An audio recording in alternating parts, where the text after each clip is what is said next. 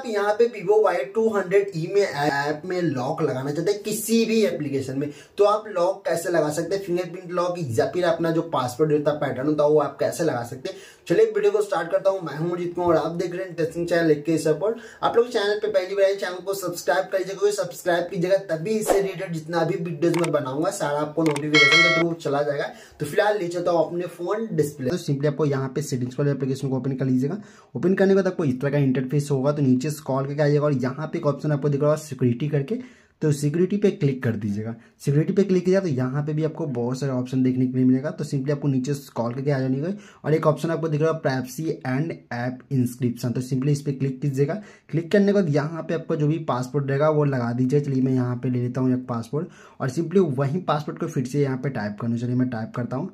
Type करने के बाद यहाँ पे कुछ क्वेश्चन देख रहे क्वेश्चन वन क्वेश्चन टू तो यहाँ पे आंसर सिंपली आपको जो भी आंसर भरना है भर दीजिएगा जैसे कि यहाँ पे एलिमेंट्री स्कूल का आपका जो नेम है वो डाल दीजिएगा या फिर इस पर क्लिक करके आप चेंज भी कर सकते इस पर क्लिक कीजिएगा तो बहुत सारे यहाँ पे आइडियल जॉब सारा का सारा दी हुई तो यहाँ पे आप कर दीजिएगा जिससे कि आप पासपोर्ट भूलें तो वो ऑटोमेटिक वो रिकवरी कर पाए चलिए मैं यहाँ पे अपना नेम ही डाल देता हूँ दोनों जगह आप एग्ज़ाम्पल के तौर पर मैं बता रहा हूँ तो सिंपली डन कर दीजिएगा डन करने के बाद ऐप इंस्क्रिप्शन पर क्लिक कीजिए और यहाँ सारे ऐप देखने के लिए मतलब सिंपली यहाँ पे चलिए मैं लॉक करता हूँ जैसे एयरटेल हो गया एल्बम हो गया, उसके बाद यहाँ पे बहुत सारे ऑप्शन देखने के लिए। मतलब यहाँ पे देखिए सारा का सारा इनेबल कर दीजिएगा, जो भी आप इनेबल करना चाहते हैं। इनेबल करने के बाद यहाँ से क्या है, यहाँ से बैक आ जाने चलिए मैं बैक करता हूँ। और यहाँ पे देखिए मैसेज में लगाया तो मैसेज को मैं ओपन करता हूँ। यहाँ पे देखिए आपको, यहाँ पे आपको देना होगा। देख सकते हैं यहाँ पे पासवर्ड दीजिएगा तो यहाँ पे खुल जाएगा। तो इस तरह के यहाँ पे ऐप लॉक लगा सकते हैं अपने Vivo Y two hundred E में।